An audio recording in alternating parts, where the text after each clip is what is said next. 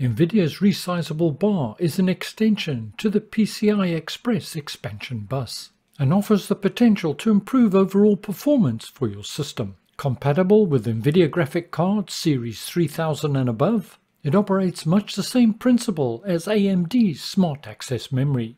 When it comes to drawing images, your CPU has a lot of processing to do, especially in terms of textures, shaders and the like and it gains access to much of this information through the GPU's frame buffer.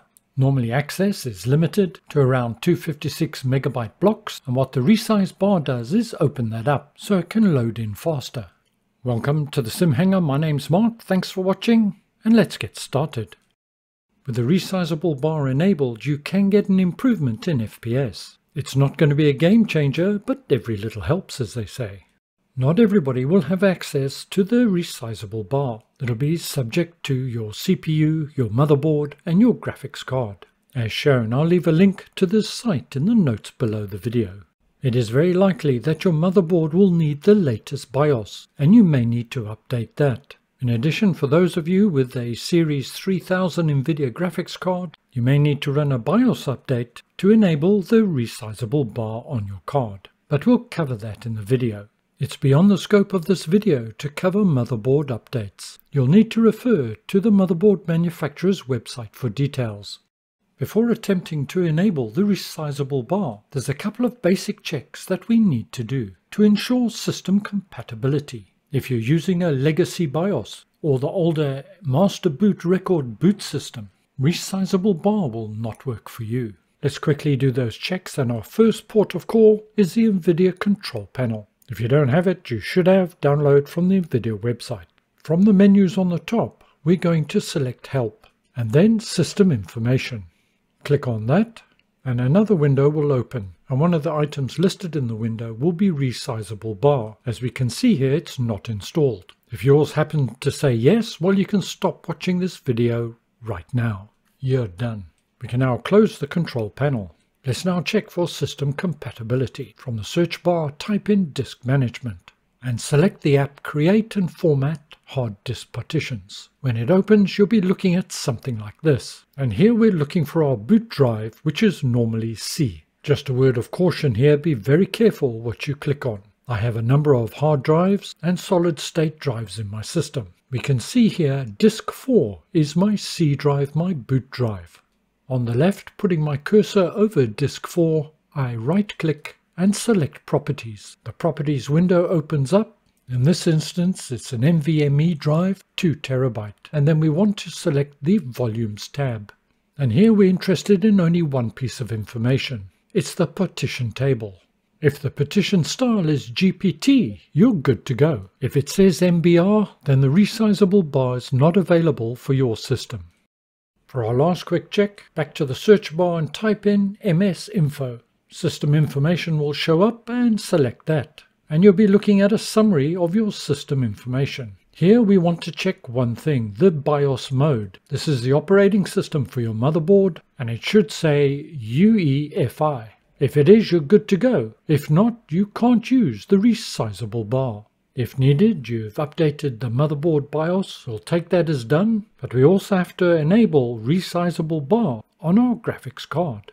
Further down on the page we were on earlier, and a reminder, link in the notes below, NVIDIA provide a link to all the main graphic card manufacturers, including ASUS, EVGA, Gigabyte and so on.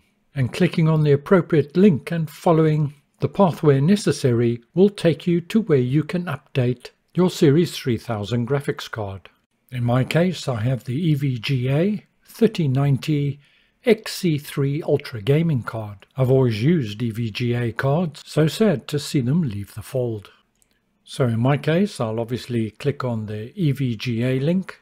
It connects me to their site and it advises me that I'm to use the Precision X1 utility, which is a free download.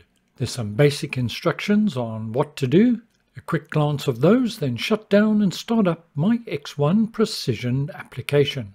Note you would only use this with an EVGA graphics card, Series 3000 or above. Other cards would have a different format. I've clicked on the Rebar tab and it shows me the VBIOS needs updating and a caution sign against the motherboard as I'm still to update that BIOS, which we'll do shortly. Click on update, yes I want to update the VBIOS, and it starts. Once it had completed, it asked me to restart the computer, which I did, fully booted up and then shut down again, so I could adjust the motherboard's BIOS.